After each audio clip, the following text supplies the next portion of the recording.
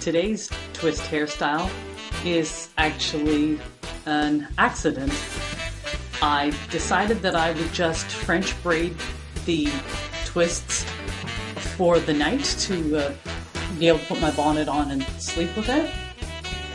And so I did that.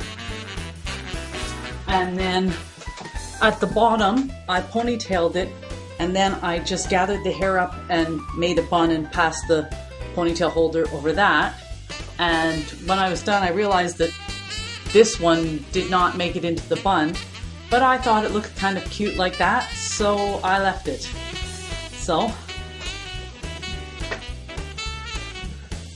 this is today's twist style um, French braid with messy bun.